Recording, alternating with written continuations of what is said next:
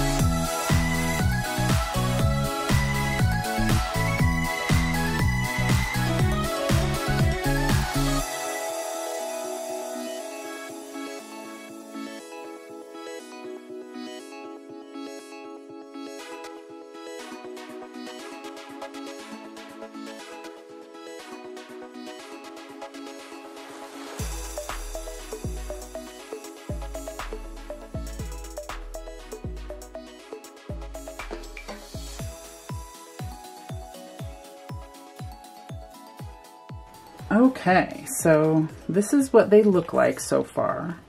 So we've just finished our collaging portion and they're a little bit sticky. What I want to do next is I want to go ahead and just trim them up.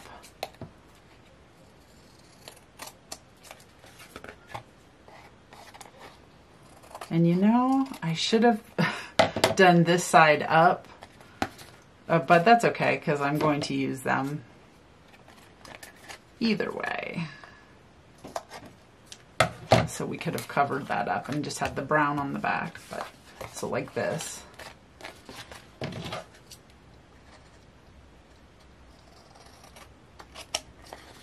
I'm just trimming off the edges. Okay, those look good. I had to clean up my hands because I had glue all over them. The next thing that we're going to go ahead and do, I'm just going to go ahead and distress them just a little bit with this vintage photo.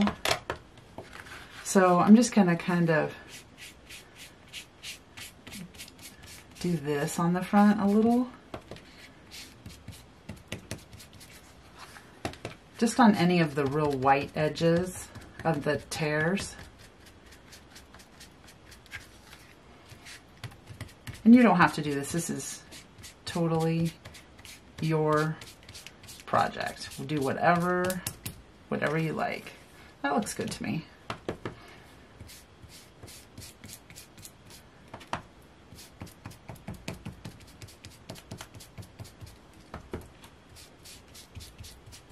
Now on the other, um, on Camelia Crafts, she painted hers with some watercolors to muddy them up. So you could do that as well.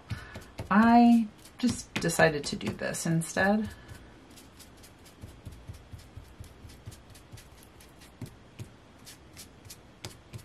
Okay, I like that.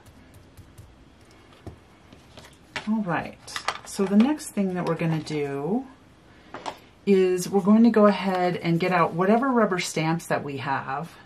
And then we're going to, I'll just put them side by side like this. And then we're going to um, rubber stamp like little images all over them just to make them kind of haphazard looking. I have a couple of examples. So these are examples of some other ones that I've done. And I haven't cut them up yet. But we're going to go ahead and just be doing the stamping on these right now. So I just used this um, Stampers Anonymous collection, the Field Notes. I really like that collection. I'm going to use, I think I'll use purple. This um, Dusty Concord. So you can use whatever you like.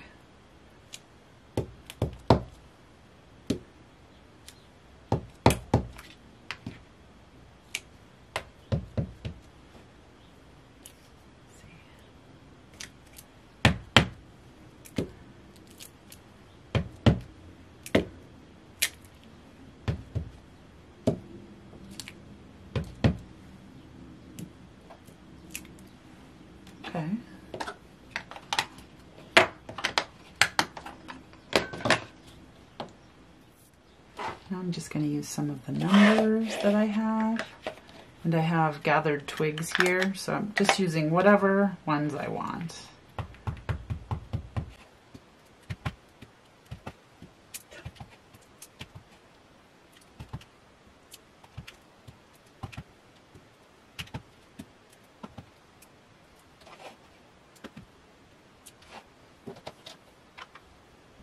I think I'll put I like this one. I'm going to use this one.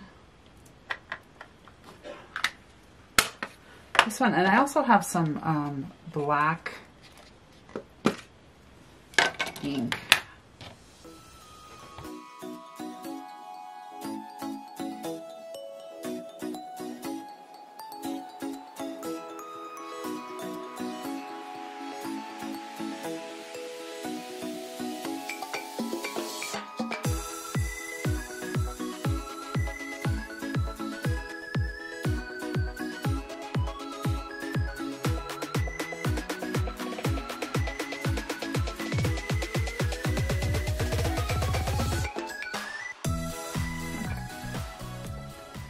Put some more numbers on, I think.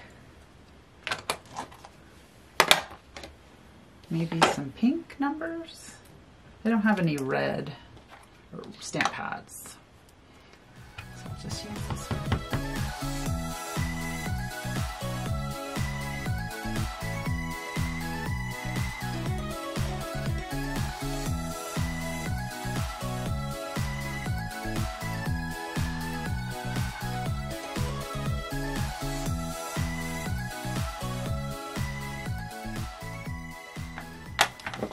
Okay, those look good. Next thing that I'm going to go ahead and do, oh, you know what? I wanted to put some of this writing on one of them. Or maybe on both, just a little bit of that. I'm gonna do it with the black.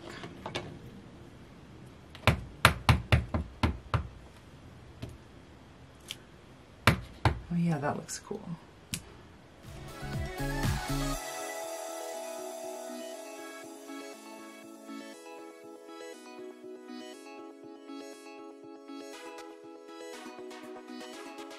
So then the last thing that I want to add to them is um, I don't have the little spray bottles of the Distress Oxide, but I have some re-inkers from the Distress Oxide from um, Tim Holtz. I have these two colors, Vintage Photo and Weathered Wood. Those are the two that I use the most. And so instead of using the spray bottle, I'm just going to go ahead, because I wanted to use what I had, just going to go ahead and do this all over them.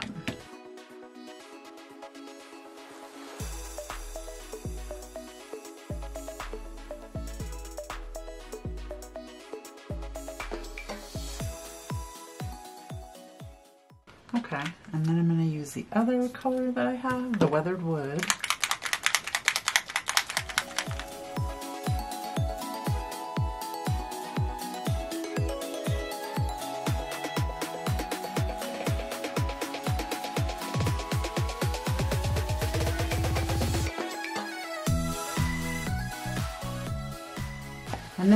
Take my paper towel that I have and just dab all over it.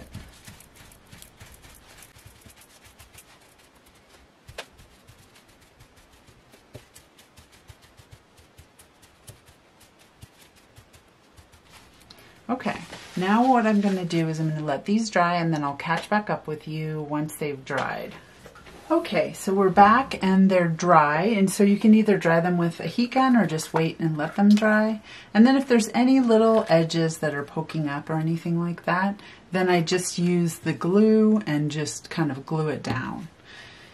And then now um, what you can do is, in the other videos, I saw that they were doing like a black um, ink um, line around each tag that they were cutting.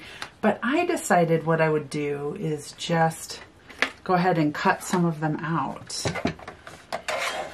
so I can use up all of the paper.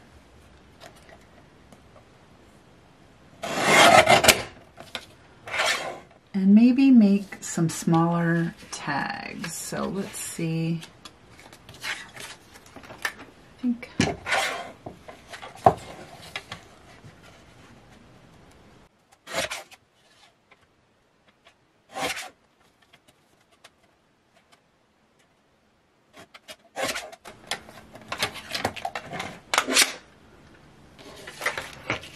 Okay, so what I have done is just cut out some different shapes. And what I'd like to do is round the corners.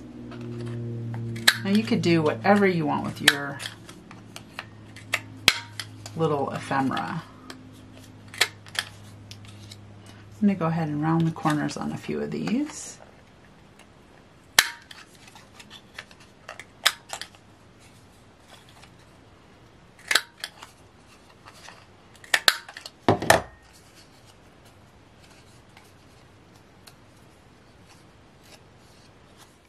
And then I'm going to go ahead and dress around the edges.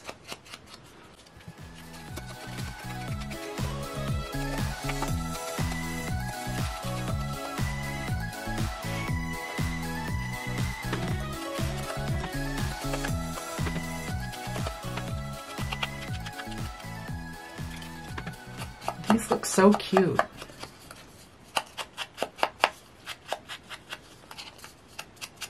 Really love how they turned out with all these scraps. And then I was thinking I have this little thing of ephemera, like little Tim Holtz ephemera. And I'm going to go ahead and add some, like add that. And this maybe, yeah, I like that.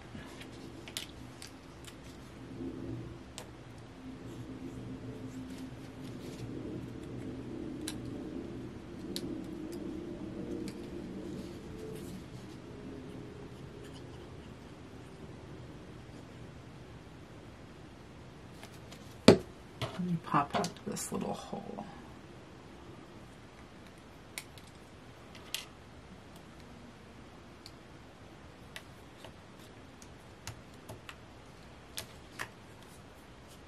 Well, that's cute. I like how that turned out. So that'll be nice uh, ephemera in my one of my journals. And then let's see what else we can make. Maybe like that. That. Oh, that's cute. I like that. So I'm just going to glue on half of this. Well,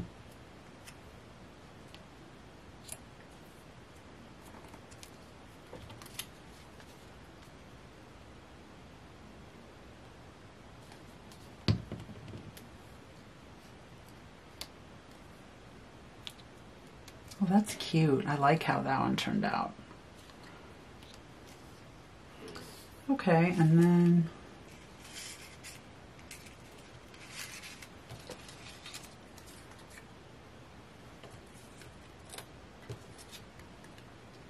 Oh, that's neat.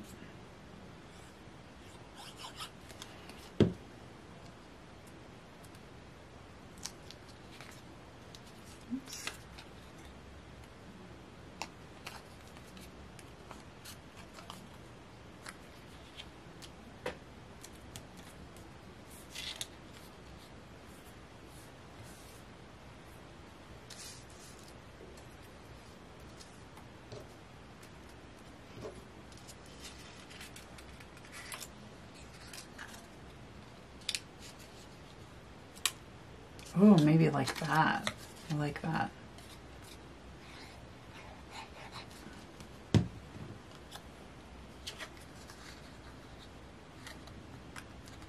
Cute. Oh, I like that one. Let's see, does that need anything else? Like a little butterfly maybe? Oh my gosh, okay, I'm gonna do it.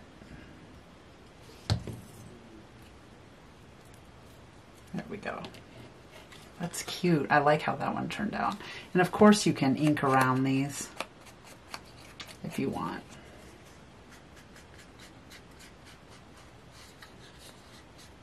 Maybe do it before you stick it on there, but that's cute. Cute. Okay, and then let's see.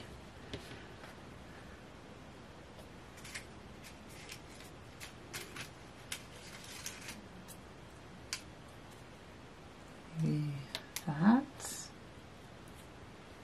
That's cool. And this. Mm, I like that.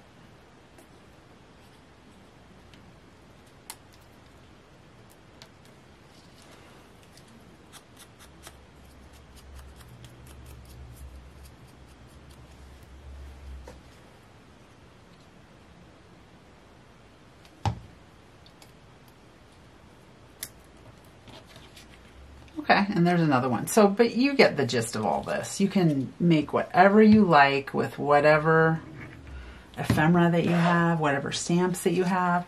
I love these. They're so cute. They look like something you would buy at a store. I mean, I just think that they're super cool. So I think that you should go ahead and try to make these because you will have a lot of fun with it. And um, I, I just think that the possibilities are endless. So I'll see you next time. Thanks. Bye.